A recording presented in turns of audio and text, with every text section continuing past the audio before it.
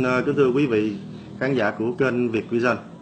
Hôm nay Thanh Tâm ờ, đang ngồi kế bên đây là anh ờ, Lợi Minh đã từ Mỹ trở về và đã xuống Đồng Tháp đây và Thanh Tâm được may mắn gặp mặt và tiếp xúc và xin anh Lợi Minh cũng đã đồng ý cho Thanh Tâm cuộc phỏng vấn này. Rồi trước tiên thì xin chào anh Lợi Minh và xin chúc anh sức khỏe. Xin chào anh Tâm và Dạ. Cảm ơn anh à, cho tôi có cơ hội để à, trò chuyện với lại việc à, ví sinh Dạ, dạ thưa anh, thì trước tiên thay mặt kênh Việt Vision xin à, tặng anh món quà là chiếc áo ấm cho mùa đông xin gửi đến anh có cờ đỏ sao vàng của Việt Nam chúng ta. cảm ơn anh Dạ. Thì trước tiên để khi vào câu chuyện thì xin anh Ờ, Lợi Minh, hãy ờ, ờ, chia sẻ và cho khán giả của kênh Việt Vision biết một chút về bản thân của anh hiện nay tại Hoa Kỳ không ạ? tôi tên là Lợi Minh. Thì tôi ở Mỹ được cũng 30 năm. Thì nói chung thì sống và làm việc ở Mỹ lâu và tôi cũng hiểu được những cái pháp luật của Mỹ. Và đối với tôi thì Việt Nam là quê hương đất nước của tôi, là tổ quốc của tôi. Tôi rất là yêu mến khi ờ, lên trên mạng thì nghe những cái thành phần mà chống phá đất nước nó xuyên tạc thì tôi thấy nó nó nó, nó rất là lố bịch nó khiến cho tôi bức xúc và tôi ờ, chống lại những cái luận điệu xuyên tạc đó Dạ vâng, cảm ơn à, anh Lợi Minh. À, thưa anh, thì à, tiếp theo đây cho em xin hỏi anh là hiện nay cuộc sống của bà con Việt kiều ở tại Hoa Kỳ Ờ, gần nơi anh sinh sống và ờ, các tiểu bang khác thì cuộc sống của họ như thế nào? Có như những gì họ đã uh, xuyên tạc hay là họ đã tự uh, cho rằng đó là cuộc sống thiên đường của nước Mỹ không ạ? nói chung nước Mỹ nó là một cái hiệp chuẩn bút cuộc sống mình muốn vươn lên thì mình phải chịu khó làm mình phải làm rất là tất tật để có được những cái thứ vật chất mà mình mong muốn còn nếu mà mình không làm thì chỉ ngồi ù lì đó và hưởng cái phúc lợi xã hội của Mỹ thì nó chỉ đủ sống qua ngày thôi mà dưới cái tình hình kinh tế hiện nay thì nước Mỹ nó cũng có nhiều khó khăn cho nên đời sống của người dân Mỹ nói chung và người Việt Nam mình nó cũng gặp nhiều khó khăn chứ không phải là đơn giản Dạ, cảm ơn anh. Và cho em xin hỏi tiếp một câu hỏi khác. À, đó là hiện nay à, trên cộng đồng mạng thì được biết là anh đang theo đuổi một vụ kiện tại Hoa Kỳ. Thì à, xin anh cho biết là vụ kiện đó là như thế nào và anh đang kiện ai và kiện về vấn đề gì và vì sao anh lại theo đuổi vụ kiện đó. nói chung là như vậy thì nó, những cái người mà chống phá đất nước ở hải ngoại đó nhất là ở bên Mỹ họ che giấu những cái sự thật họ không dám nhìn vào những cái mặt trái của nước Mỹ Dạ. khi tôi lên án về đưa về những cái mặt trái của nước Mỹ thì họ lại cho tôi là phản bội nước Mỹ và chống lại họ tôi thấy Dạ. đó là một cái điều rất là sai lầm bởi vì cái hiến pháp của Mỹ mỗi một người dân họ có quyền bày tỏ cái sự bất đồng chính kiến trong cái khuôn khổ pháp luật và hiến pháp của Hoa, Hoa Kỳ Dạ. trong cái uh, First Amendment của cái, cái uh, Constitutional thì mình nó tôi có quyền nói lên những cái sự khác biệt nhưng mà đối với những người mà chống phá đất nước của chế độ cũ họ rất là hung hăng họ không chịu chấp nhận sự việc đó thì Dạ. họ quay qua họ tìm những cái ừ, cách để đặng mà hãm hại tôi để Dạ. không cho tôi nói lên những cái tiếng nói về mặt trái của nước Mỹ mà trong khi đó thì họ đang hô hào dân chủ nhân quyền tự do và đa đảng thì tôi thấy những cái điều đó họ làm rất là biệt bợm và xảo trá Dạ. thì tôi ờ, cái, cái sự hung hăng của họ họ coi thường pháp luật của Mỹ họ đã cùng với con Lisa Phạm là băng nhóm đầu đảng và thằng Dale Trần, Evan, thằng John. Thì tụi nó tìm được thông tích về ờ, tin tức cá nhân của tôi nó đến nhà và nó nó, nó hăm dọa nó đòi giết. Thì ừ, những cái đoạn video đó nó đưa lên YouTube thì tôi đã, download và tải về được. Tôi đưa cho FBI Dạ. thì cái luật pháp Mỹ nó có tam quyền phân lập về những cái cách mà làm việc của nó. Cho nên FBI đúc kết hồ sơ. Thì bên ờ, quận hạt của County Maricopa. Nó sẽ truy tố những người này về những cái tội gọi là ờ, hăm dọa giết người. Ở Mỹ mình có quyền bày tỏ sự khác chính kiến nhưng mà mình không có được quyền mà hăm dọa hăm dọa người ta giết người ta. Dạ. B- b- từ giết hăm dọa từ trên mạng mà có tổ, tổ chức. Thế và nó tới nhà nó còn hăm dọa nữa. Dạ. Và nó dựng lên những câu chuyện rất là xảo trá và biệt bợm.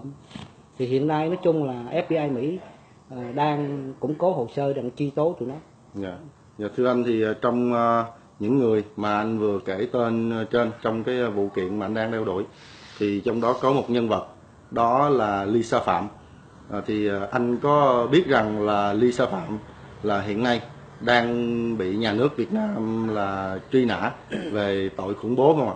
và tôi có hỏi nhờ một số anh em ờ, cho tôi biết về hồ sơ của Lisa Phạm để tôi nộp lên cho FBI cho nó tu bổ thêm những cái hồ sơ đó để chứng minh rằng Lisa Phạm là một tổ chức khủng bố Dạ. cùng với ờ, Derek Trump và Evan cũng như John Dạ. là những người mà tới nhà hăm dọa tôi bởi vì trong những đoạn video họ họ làm theo sự hướng dẫn của Lisa Phạm Dạ. ờ, trên các cái, cái kênh YouTube truyền thông mạng của họ Dạ. thì tôi thấy đây là có cái sự kết nối với nhau thì tôi mong rằng ờ, cảnh sát hình sự FBI Mỹ sẽ truy tố họ ờ, đúng mức tội phạm Ờ, sau khi nếu mà truy tố họ xong tôi sẽ khởi kiện họ về vấn đề dân sự Dạ. Dạ, thì nói chung tôi cũng có hỏi cố vấn luật sư thì họ nói mình phải chờ ờ, bên truy tố nó đúc kết hồ sơ và nó truy tố thì mình mới cầm cái hồ sơ đó mình mới kiện tụi nó Dạ. Vâng, cũng mong là anh sẽ chiến thắng được trong vụ kiện này. Và xin ờ, phép ờ, hỏi anh tiếp là thưa anh thì hiện nay ờ, cộng đồng dân cư người Việt tại Hoa Kỳ trong đó có một bộ phận người dân là người Mỹ gốc Việt là thành phần chống cộng cực đoan ở tại Hoa Kỳ thì họ hô hào đòi lật đổ chính quyền Việt Nam, lật đổ nhà nước Việt Nam. Họ bảo rằng là sẽ có cuộc là Ờ, trở về để ờ, phục quốc. Thì theo anh những luận điệu như vậy thì người Mỹ, người Mỹ gốc Mỹ họ có cái chính kiến hay là họ nghĩ như, thế nào về cái số người mà ờ, người Việt cộng đồng Mỹ người Việt ở tại Mỹ hay không ạ? nói chung thì những người đó họ họ chỉ xảo trá và biệt bợm họ cũng chỉ là những người dân bình thường sống ở trên đất Mỹ thôi Mỹ với Việt Nam bây giờ là hai quốc gia có phái bộ ngoại giao không? Dạ. người ta lợi ích chung của hai dân tộc còn mà đòi lật đổ Việt Nam của những cái thành phần cực đoan ở Mỹ như chế độ ngụy quyền Sài Gòn bao que tôi gọi là bao que đó Dạ. thì đó là những cái sự gọi là nó chỉ nó chỉ biệt bợm những người nhẹ dạ cả tin thôi Dạ. chứ đó là hoàn toàn nó không thể nào có thật được ngay cả họ xin treo lá cờ ở cái trại Camp Pendleton ở California chính cái trại đó quân đội đó người ta còn không cho mà Dạ. người ta còn không cho tại người ta nói rằng đó là phái bộ ngoại giao với Việt Nam người ta có cái liên hệ mật thiết với nhau ờ, trên tinh thần ngoại giao đó họ đâu có cho đó họ cấm Dạ.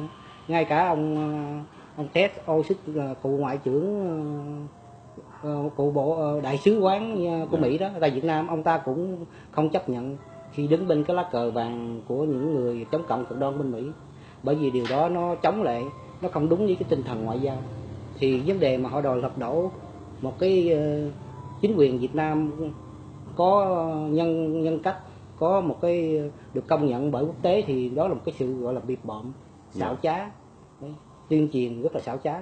Và và cái cái cộng đồng mà người Việt ở tại Hoa Kỳ đó thì họ có tin vào những cái lời lẽ của những kẻ chống cộng cực đoan đó không thưa anh? tôi không tin là như vậy. Tôi đó đối với tôi tôi không nghĩ đại đa số người Việt ở bên Mỹ người ta cũng lo làm ăn thôi. Dạ. của những thành phần quá cực đoan nhàn rỗi nhàn rỗi thì họ tuyên truyền những cái láo phét vậy thôi. Còn đại đa số thì ai cũng phải lo cơm áo gạo tiền mà. Cái cuộc sống ở Mỹ mà nó đâu phải đơn giản. Nếu mà không làm ra tiền thì thì mình nhà cửa rồi bảo hiểm này nọ mọi thứ chi phí rất là cao. Dạ. cho nên tôi không tin là người ta tin vào những cái người mà chống cộng cực đoan đối với họ tôi thấy cái số cái số chống mà chống hơn mấy triệu người ở Mỹ thì cái thành phần chống cộng cực đoan nó chỉ nằm ở cái số nhỏ thôi chứ Dạ. không đến nỗi mà quá lớn. Những thành phần giống như về hưu hay cực đoan những thành phần già nua của chế độ cũ hay là những thành phần mà nó ừ, đối với tôi là ô hợp. Dạ. Đại đa số là ô hợp. Dạ. Và thưa anh thì ờ, theo anh nhận định thì cuộc sống anh anh về Việt Nam đây anh hiện nay anh đang ngồi ở tại Việt Nam thì anh thấy là cuộc sống của người dân Việt Nam và cuộc sống của người Việt tại Hoa Kỳ thì xét về ờ, độ cuộc sống gọi là thoải mái thì anh thấy là ở đâu thì nó sẽ hơn à? tôi thấy ở Việt Nam nó vẫn thoải mái hơn tại vì con người ta làm sức ép nó không có nhiều giống như bên Mỹ dạ ở bên Mỹ đời sống nó cao cái sức ép nó rất là cao khi cái kim đồng hồ quay là con người ta đã cũng đã quay cuồng theo nó rồi dạ Đấy. cơm áo gạo tiền anh làm anh mới có được những cái hưởng được những cái nhu cầu những cái vật chất trong cái đời sống xã hội. Ở Mỹ anh có được cái xe hay cái nhà hay bất cứ gì anh phải trả một cái giá rất đắt chứ nó đâu phải tự nhiên mà nó có đâu. Mà là mình khi mình có được cái thứ đó đó mình phải làm tất tần tật cài. Anh phải gọi, phải gọi là chữ cài như châu bò vậy. dạ. Phải làm mới có được. Còn ở Việt Nam đời sống nó thấp thì tôi thấy người ta sống nó như nó nó nó nó không đến nỗi mà quá sức cái sức ép nó không quá nó không có lớn quá dạ. Nó cũng bình thường thôi. Tôi thấy nói chung là thoải mái. Dạ. Cái, cái người nghèo ở Việt Nam bây giờ người ta sống cũng từ từ tàn tàn. Cứ làm nhiều thì họ ăn nhiều làm ít thì họ ăn ít. Vậy thôi. Chứ không đến nỗi quá chịu nhiều sức ép như mình bên Mỹ. Bên Mỹ hiện nay cái sức ép quá lớn khiến cho nhiều người. Hiện nay thì theo thống kê thì có 78% người dân Mỹ họ đang sống gọi như làm làm ngày nào ăn ngày nấy. Và hơn 43 triệu người Mỹ dân Mỹ hiện nay sống trong nghèo khổ dạ. Và cái mức mà người sống vô gia cư nó tăng lên rất là mạnh. Dạ. Đấy. nó tăng rất là khủng khiếp. Nhất là ở những cái tiểu bang như Cali vừa qua một số người theo dõi ở ờ, Los Angeles. Đấy. cái sự vô gia cư nó tăng lên một cái mức cực rất là khủng khiếp.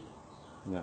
Đời sống nó khó khăn nhiều. Tại vì một cái quốc gia phát triển như Mỹ mà khi kinh tế nó khó khăn đó thì người dân lao động họ chịu nhiều sự họ chịu nhiều khó khăn thì Việt Nam mình là một quốc gia đang phát triển. Thì tôi thấy ở Việt Nam hiện nay thì chịu làm và cái cuộc sống nếu mà cứ biết cần cù lao động thì rất là thoải mái. Dạ rất là dạ. thoải mái. Dạ, thưa anh thì ờ, ờ, theo em được biết thì ở Hoa Kỳ là một bộ phận là ờ, của những người chống cộng cực đoan á thì họ vẫn hàng ngày là họ ờ, rêu rao họ nói rằng ờ, là Việt Nam ờ, là không có về nhân quyền không có về là là là tự do ngôn luận rồi ờ, mất tự do. Rồi Việt Nam là chế độ độc đảng cần phải đa đảng này kia thì theo anh thấy thì anh về Việt Nam đây thì anh thấy nó có thật sự như vậy hay không? Hay là đó là chỉ là những lời lẽ của những kẻ là là, là xuyên tạc? Tôi thấy những thành phần chống cộng cực đoan họ xuyên tạc nhiều hơn tại vấn đề mà tự do dân chủ mỗi quốc gia họ có một cái nền tảng văn hóa nó riêng biệt nhau. Mình không thể nào đem cái văn cái nền cái nền tảng văn hóa đa nguyên đa đảng và dân chủ của Mỹ áp dụng vào cái xã hội Việt Nam được. Dạ. Tại vì nó là một cái hiệp chủng quốc nó hoàn toàn khác. Ở Mỹ nó đa nguyên đa đảng và cái tự do ngôn luận đó nó đều có trong một cái khuôn khổ pháp luật của nó hết. Dạ. Chứ không phải là muốn nói gì nói nói tầm bậy tầm bạ không được. Giống như những thành phần mà nó nó nó nó nó dọa giết tôi đó đó là nó nó nghĩ là nó, nó nghĩ là nó muốn làm thì làm ở đất Mỹ. Mà khi nó làm như vậy thì nó đã sai cái cái luật pháp của Mỹ. Nó không đúng theo cái hiến pháp của Mỹ. À, tại vì người ta có quyền nói những sự khác chứng kiến người ta. Mà khi nó nói nó nó làm như vậy thì nó sẽ bị phạm pháp. Cho nên tôi thấy vấn đề mà luật pháp thấy tự do dân chủ nhân quyền đó, à, ờ, đa nguyên đa đảng ở Việt Nam nó có một cái đường lối khác nó không phải như như Mỹ. Mình không thể áp dụng. Nói chung là không áp dụng được. Theo kiểu Mỹ được. Tại vì theo như tôi thấy thì ở Mỹ mà phát biểu mà đầm bậy thì bị phạt á. dạ. Ngay cả một cái ông tướng bốn sao của Mỹ như ông Norman ờ, ông chỉ cần chỉ trích tổng thống thôi. Ông cũng có thể ông đã bị lột lột lột lon rồi cho về giường. Ngay cả ông ờ, ông Dan Garland của đài CBS ờ, tin tức đó khi mà ông nói tin tức mà không có đúng với sự thật đó, là ông cũng đã bị cách chức. Và cả cái biên ban biên tập của ông bị cách chức cho về giường và vấn đề ở Mỹ cái dân chủ dân quyền và tự do ngôn luận nó có cái khuôn khổ pháp luật hết. Tôi thấy hiện nay Việt Nam thì cái văn hóa của mình thì nó khác. Nhiều khi người dân họ bày tỏ sự bất đồng chính kiến của họ. Họ la họ ra ngoài đường họ la lối lên. Tôi thấy nhiều khi cũng chẳng có ai bắt bớ gì cũng chẳng có ai đụng chạm gì ngay cả những người mà chặn biểu tình mà họ ra kia họ chặn xe chặn cổ. Dạ. Ngay cả những mấy ông mà linh mục được như vậy. Đi ra chửi nhà nước thế này thế nọ rồi xúi dục rồi kia cũng đâu có ai bắt đâu.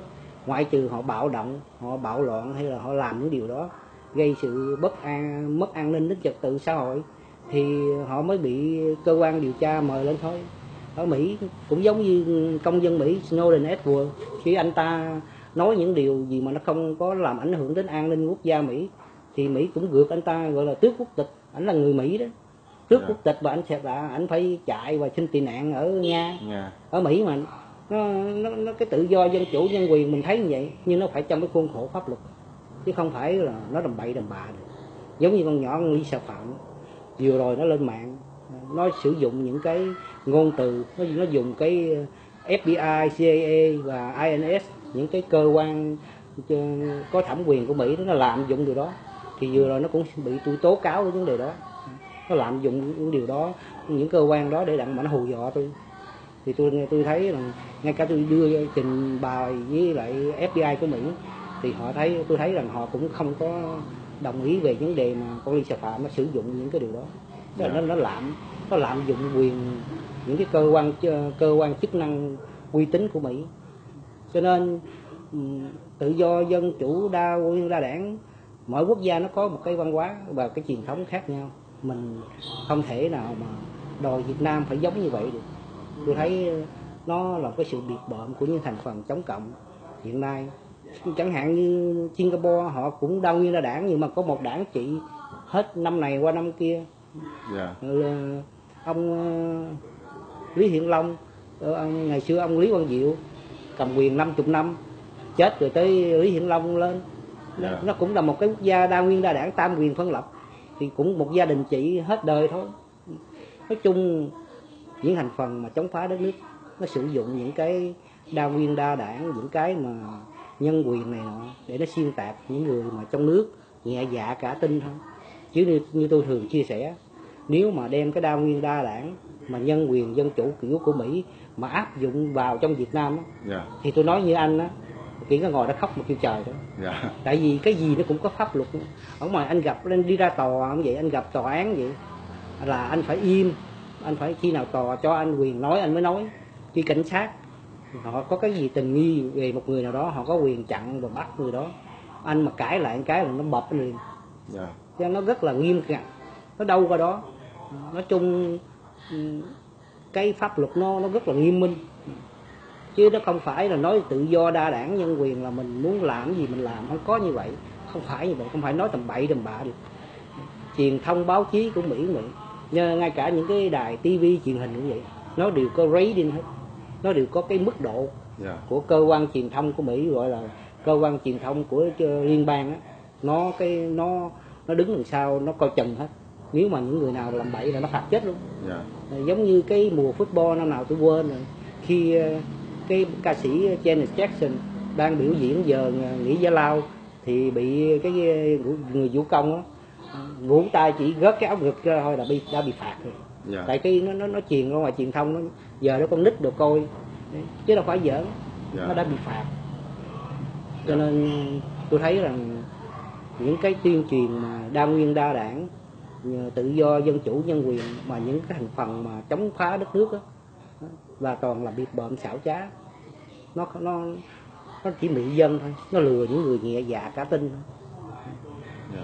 Và cũng như xin phép nhắc lại chút xíu là anh cũng vừa nhắc tới uh, Lisa Phạm. Nó cũng dính dáng trong tới cái vụ án của anh. Thì uh, xin anh nói rõ thêm chút xíu nữa là sắp tới đây thì cái vụ kiện đó thì theo anh thì phần thắng kiện của anh nó vào khoảng bao nhiêu phần trăm? Và khi anh thắng kiện rồi thì ờ, những cái ờ, kẻ mà đã đe dọa anh là hăm dọa sẽ giết anh, thì họ có phải là bồi thường cho anh một khoản tiền nào đó hay là họ chỉ chịu án tù? Trước nhất là họ sẽ chịu theo những cái bức án mà ờ, hình sự của luật pháp của tiểu bang dạ. À, sau đó là tôi sẽ thưa lại họ để họ đền bù dạ. Tại vì ở bên mỹ cái luật của nó là khi những người đó mà họ xâm hại đến cái quyền riêng tư của người khác đó họ dọa giết như vậy đó thì ờ, họ sẽ bị chính quyền tiểu bang đó, phạt tù hơn dạ. Dạ. và và từ hôm đó tới nay đó, tức là từ hôm sau cái cái ngày mà ba cái tên là có ờ, em nhớ là có cái tên là tên John. Đó thì ờ, hắn đến nhà anh trước cửa nhà anh đó cho tới ngày hôm nay thì bọn chúng có đe dọa hay là có một cái thủ đoạn nào nữa đối với anh không ạ?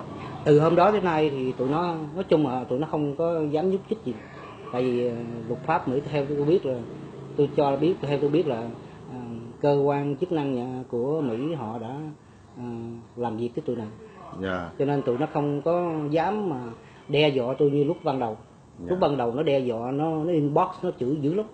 Nó gào trong cái diễn đàn của tôi nó chửi nó chửi nó hăm dọa dữ dằn lắm. Nói chung bây giờ thì tụi nó rất là im lặng.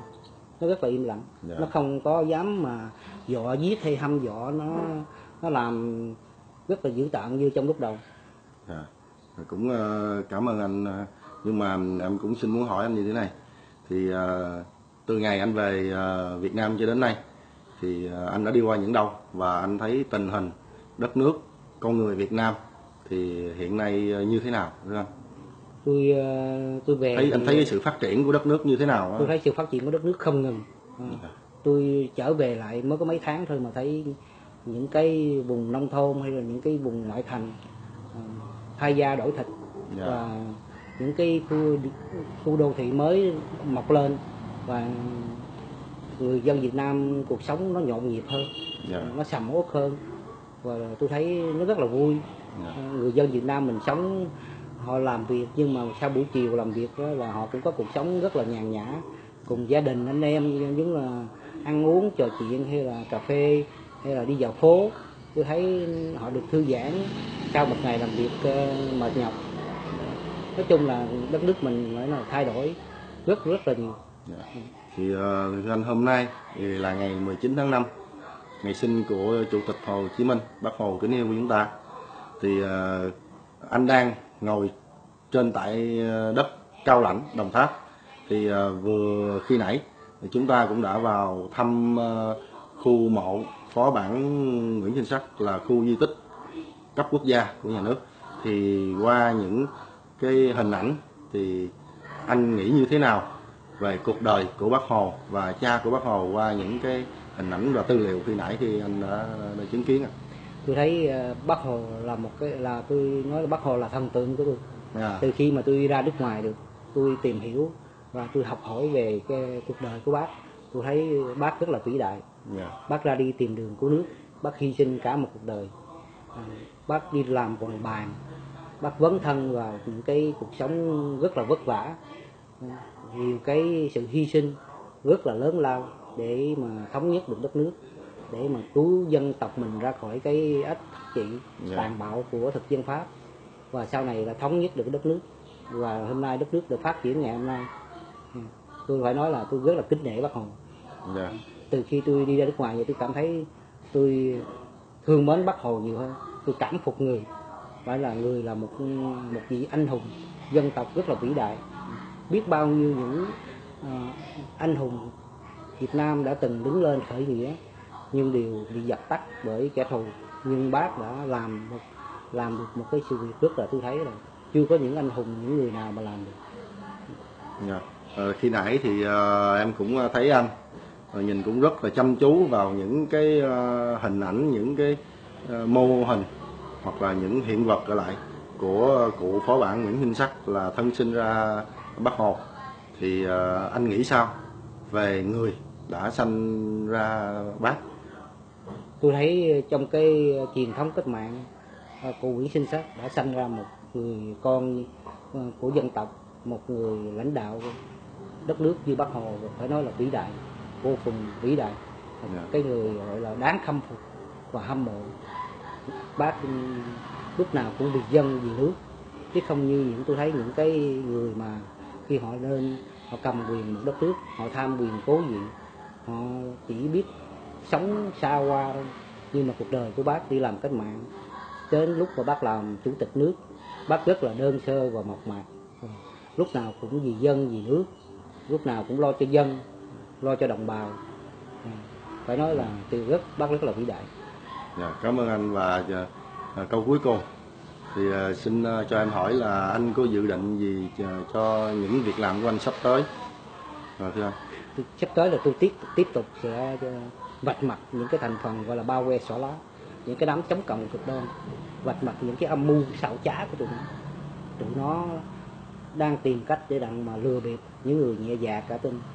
Cái ước nguyện của tôi là làm sao để vạch mặt tụi nó và chống lại những cái mưu đồ xuyên tạc của nó phá hoại cái công cuộc đổi mới phát triển đất nước. Dạ và và tôi tiếp tục sẽ làm như vậy. Tôi sẽ không bao giờ là là là, là sợ tụi nó hay là như, có, có thể là chịu thua tụi nó. Dạ. Thì ờ, thưa anh thì qua cái sự việc hôm rồi của anh á thì cộng đồng mạng Việt Nam ờ, cũng như là nhân dân Việt Nam những người nào mà họ cũng thường xem những cái YouTube hay là những cái kênh uh, uh, truyền thông cũng đã rất ủng hộ cho anh uh, Lợi Minh trong cái thời gian vừa qua mà anh đó bị là cái bọn chống cộng cực đoan khủng bố tại Hoa Kỳ thì cho tới ngày hôm nay thì anh Lợi Minh đã về Việt Nam và hiện nay thì đang ngồi trên đất cao lãnh, Đồng Tháp và chúng tôi cũng đã vừa đi ờ, vào thăm viếng khu di tích mộ của cụ phó bản Nguyễn Chính Sắc là thân sinh ra chủ tịch Hồ Chí Minh. Và Việt Vision chúng tôi cũng xin được ờ, chúc anh Lợi Minh được ờ, nhiều sức khỏe và chúc anh thành công trong những việc mà anh ờ, thực hiện sắp tới và cũng chúc cho anh sẽ thắng được vụ kiện này để nhằm vạch mặt ra những kẻ phản động những kẻ bao que đang chống lại những người yêu nước ờ, của dân tộc Việt Nam chúng ta.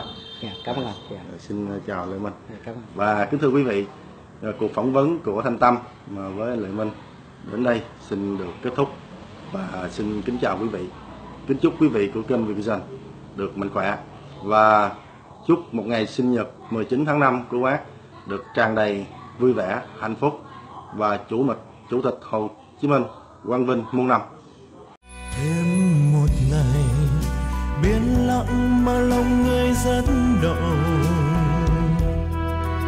trong lòng người từng đã sống trao